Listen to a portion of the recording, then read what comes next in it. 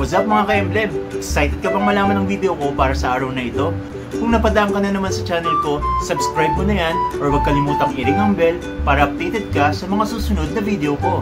Enjoy watching!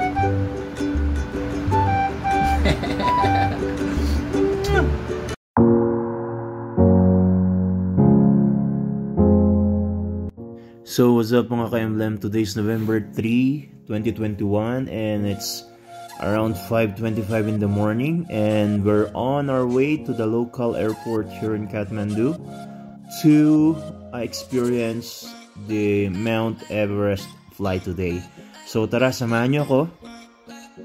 We arrived now here in Tribhuvan International Airport and from here, uh, dito tayo uh, sasakay papunta sa ating tour to the Mount Everest via Buddha Air. So, let's go! We arrive here in the uh, domestic airport and from here magta-travel tayo papunta dun sa ating location. So, kapit lang mga ka-emblem. It's around 5.45 in the morning. So, napakagandang mag-travel kung ganitong oras kasi walang traffic.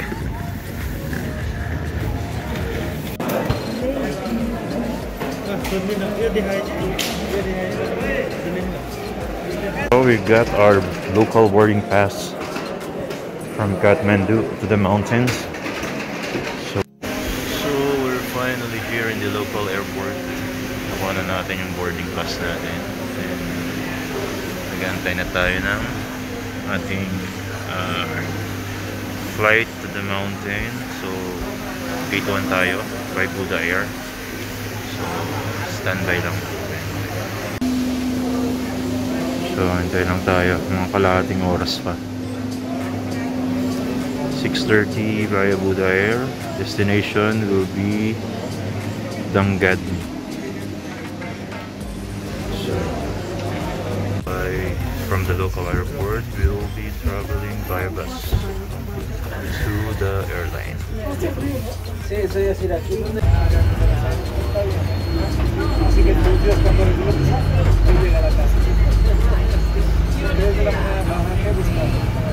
So, yung airplane na nasa likuran ko ngayon, our aircraft for the tour. So, and uh, small plane. So, nandito na tayo sa ating airline, Buddha Air. Siya yung magdadala sa atin papunta ng Mount Everest. Uh, so, from here, sakay na tayo ng airplane.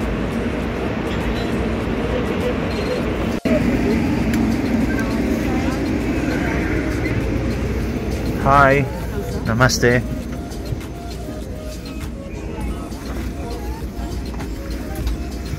So we're here inside the aircraft. 4A.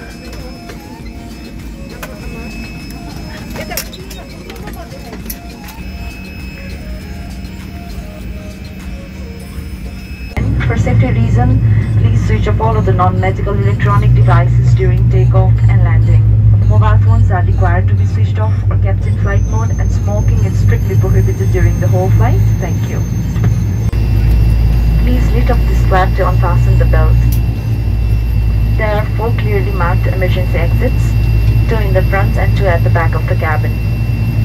In case of smoke in the cabin, please follow the emergency lights located on the floor to the emergency exits. Please study the safety instruction card placed in the seat pocket in front of you. Thank you for your kind cooperation. Ladies and gentlemen, we have just briefed you about seatbelts and emergency exits. For more information, please contact our cabin crew. Thank you. So, inside the plane, nare-required pa rin nilang magsuot ng face mask for uh, health purposes. So, we should wear it all the time. Yung brochure na binigay sa atin ng flight attendant. So, this is the best mountain flight in the world by Buddha Air. So, tingnan natin kung ano yung meron sa loob.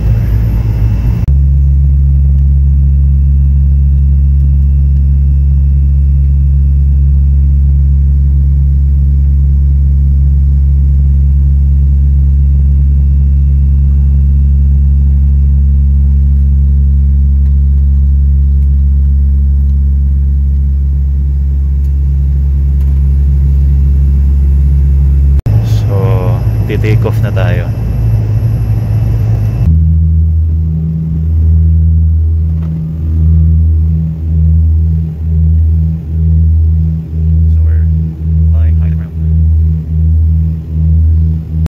So we're up from there. And on the other side actually nakikita na natin yung lines of Himalayas, yung mga mountains. So yun siya.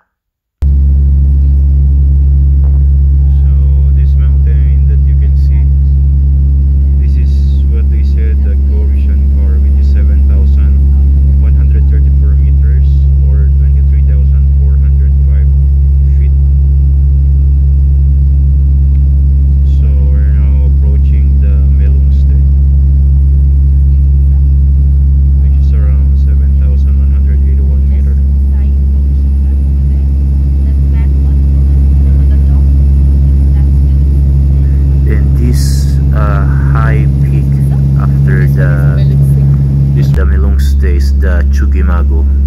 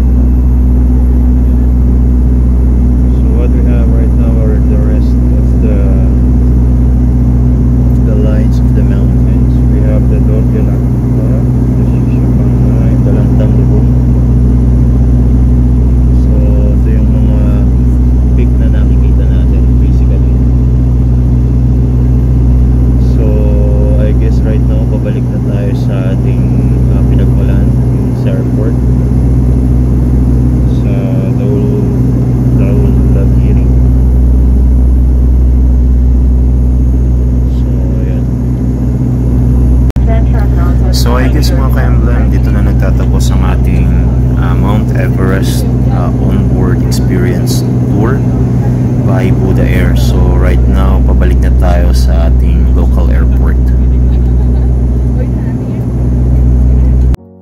Thank you Buddha Air for the safe flight. That was awesome. So ayun, ah, halos natapos na rin ang halos ah, more than one hour nating tour dito sa Mount Everest by Buddha Air. So ayun. So right after the flight, we had received our certificate and it says I did not climb Mount Everest but touch it with my heart. So Mr. Marlon Bautista had a once in a lifetime experience on board Buddha's Air Everest Experience flight on Mount Everest on November 3 2003. Then we got our certificate for uh, experiencing Mount Everest uh, flight tour. So, ganito na lang mga ka-emblem. And have a good day. Ganda, ganda.